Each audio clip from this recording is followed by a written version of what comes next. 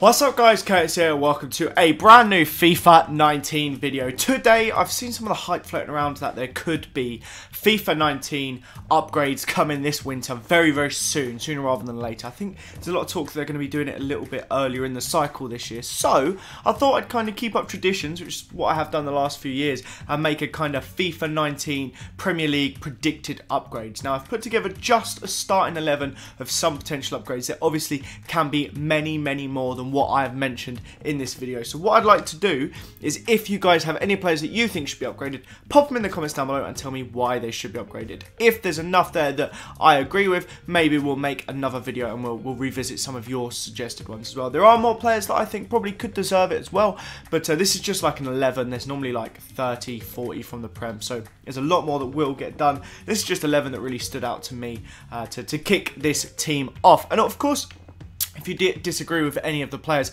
mentioned in this video as well, then please do let me know in the comments down below. I'm always eager to hear what you guys think instead of uh, instead of what I've been going for. So, before I get into this one, there's something really quick I need to tell you about. This is for the over 18s of you out there, and that is slotozilla.com. It's the best place to find any slots, online casino, stuff like that, and it keeps it all in one place. So it's easy for you to search and find whichever one you, you want. It gives you bonuses, sign up promotions, all this good stuff, and keeps it in one big place for you. There's also monthly prizes, monthly competitions, monthly giveaways, and there's a bunch of reviews in there so you know which ones are the ones to go for and which ones maybe uh, aren't quite as good as some of the other ones, or which ones just suit you more. So that, of course, is slotozilla.com. There will be a link down below to that. Just a reminder, you have to be 18 or over to um, visit the website or use any of the stuff on the website. Back to the video.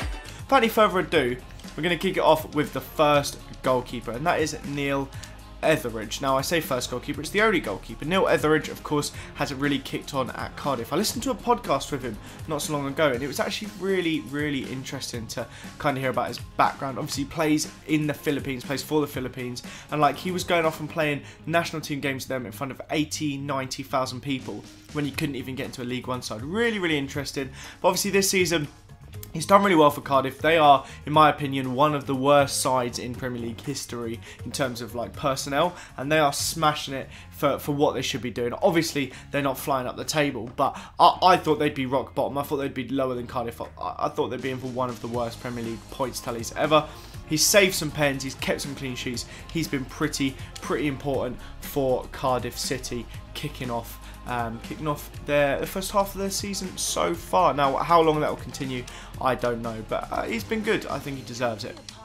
Next up, we have Matt Doherty. Now, Matt Doherty has been part of a really, really exciting Wolves side that have uh, out of the, the free to come up. They've defo been the best. Obviously, Fulham spent quite a bit of money, and people thought they might do something, but they've they've not. Cardiff obviously have not. Wolves have been a side to really challenge the bigger teams. Didn't do so well against City in the most recent game, but they have put some teams under the under some pressure. And uh, four uh, four assists, three goals in 22 appearances, pretty decent. Two man of the matches. The guy's getting involved from right wing back. Um, a really really effective player. Uh, for Wolves and a, a, huge part of that that kind of wing back right midfield role that they, they fill with him and then Jonny on the other side where they, they can get up and down the pitch but helps out defensively absolutely when needed. Now his team is kind of jam packed with uh, fullbacks. I haven't just gone position by position. I picked 11 players and then they just happened to a remote kind of look at a team. anyway, next up we've got Trent Alexander-Arnold, so don't think that I'm thinking he should be a centre-back or anything like that. Trent Alexander-Arnold has been playing fantastically, of course, for Liverpool, whipping in some lovely crosses. He's been involved with a lot for uh, Liverpool. Three assists, one goal in 16 appearances, which is just pretty solid. He's had the odd knock, uh, not featured in every single game. I think he actually just got injured again this weekend, so he's out of action once more. But been so important for Liverpool in this spell where they've uh, absolutely dominated the Premier League and. Uh, how long will it last? We don't know, but he's been he's been really important alongside his fellow defender Virgil van Dijk. Now I'm having trouble finding him here. Virgil van Dijk, where are you, mate? Virgil van Dijk um, has been again. I mean, look at all these special cards. If that doesn't tell you the guy's been outrageous this year, then nothing will. He has an 85 rated card. I think he'll go up to maybe like an 87. Um, I think he'll probably bump him up too, which will give some of his other cards an upgrade. Virgil van Dijk definitely deserves it. Um, yeah, as you can see, he 71 pace, all this standard sort of stuff. With all those special cards, you'd think he's going to get closer to it. Obviously, um, in terms of goals and assists, just one on one with each. Crucially important in that winner against Everton, of course, which was two big points. But I mean, in terms of being a rock at the defence, the guy just just outrageous. He's so so important to that Liverpool team, and he really.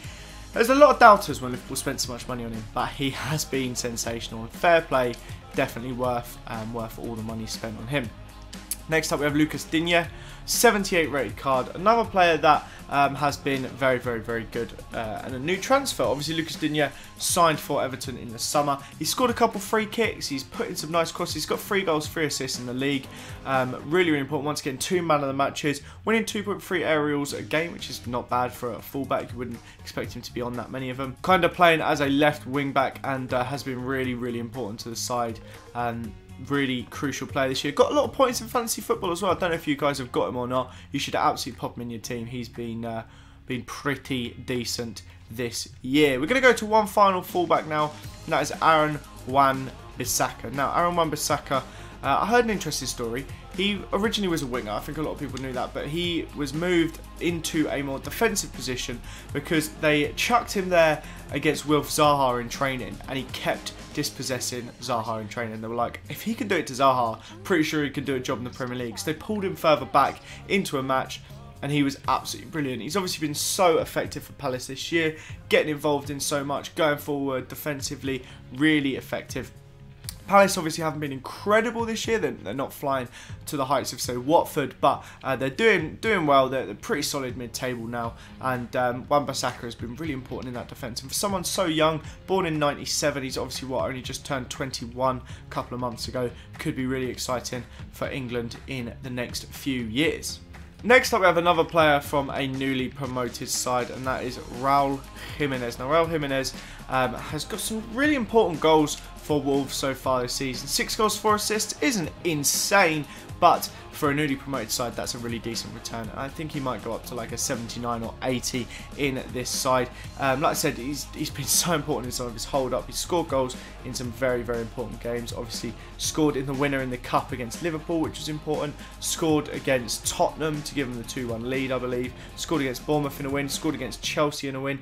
The guy scores important, important goals. And for me, that is enough for him to get upgraded to 79 or 80. Again, really, really effective for this Wolves side, so no reason why they wouldn't give him that. Next up, we have Marcus Rashford. Marcus Rashford has absolutely found himself under Ole Gunnar Solskjaer. Now, he's down as an 81 left winger. I'd like to see him move to a striker and give a slight bump to a couple of those stats. I think he's going to find his form even more so as the season continues, but I, I think he deserves to be an 82 or an 83 rated card. I personally think he's a fantastic talent, and if you are leading the line for Manchester United in centre forward, he should probably be higher than an 81 rated card, right? That, that's my, that's my kind of logic. If you're leading your club for one of the best sides in the world on paper, one of the biggest sides in the world that can attract a lot of talent, you'd think Marcus Rashford, the way he's playing, should probably be a little bit higher than that. Anyway, we're going to move on to one of these Bournemouth players that have uh, seen again a very resurgent first half of the season for Bournemouth, and um, one that's drawn a lot of attention. Ryan Fraser, obviously um, the king of assists in the Premier League this season, nine Premier League assists, five goals according to WhoScored. That's where these stats have come from, WhoScored? Some may vary depending on different outlets.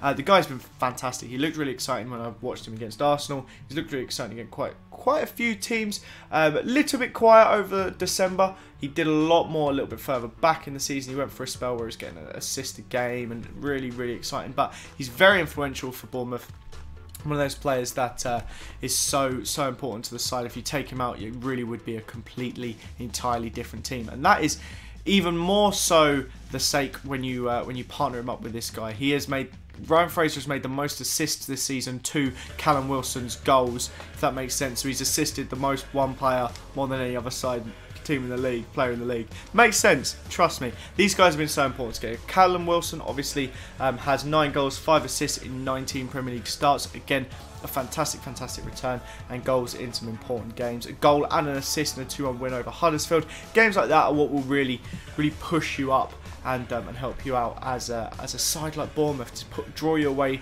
from the relegation zone. Uh, he scored in a loss against United, which is a bit of a shame. Obviously, made his debut for England as well, so he's been really exciting player this year.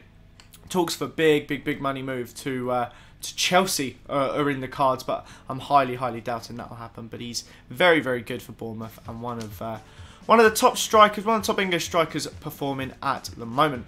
We're going to finish it off with this final player. I think uh, there can't be any arguments about Felipe Anderson. He has come to England and settled in absolutely tremendously, banging uh, eight goals, two assists so far in his West Ham career, and it's seen him net three in form so far as well. So obviously FIFA are recognising this too, which is kind of pointing towards an upgrade. I think if he was to get an 84, that could see some interesting upgrades to his informed. I can't remember exactly how they do it in terms of I know if one over overlays, the other one does, but I can't remember if then the up and up and up get upgraded too, if you know what I mean.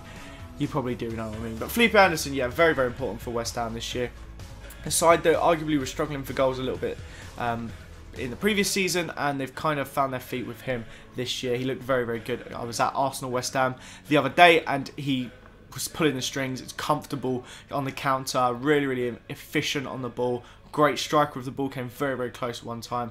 And uh, yeah, he's a player that, without doubt, I'm sure we all agree, deserves an upgrade. But that, guys, is the end of my 11. I'm sure there are many, many, many more players that you would like to see uh, upgraded. But I would be very eager to hear what you think. So if you guys could comment down below and let me know what you think, who you think should be in um, in with a shout of an upgrade this year. I mean, I'm just trying to see if there's any players in here that would be deserving an upgrade that I'd get an untradeable boost. But just looking, I don't think there would be, to be honest with you. But uh, yeah, let me know in the comments down below if there's anyone that you would like to... There you go, Ryan Fraser. That would be great if that got upgraded. If there's anyone you'd like to see get an upgrade this year, um, from the Premier League. I'd be very interested to find out what you guys think. Thank you so much for watching this video. Leave a like if you have enjoyed it, of course. Subscribe to this channel if it is your first time watching. Have a fantastic day, and I'll see you all next time.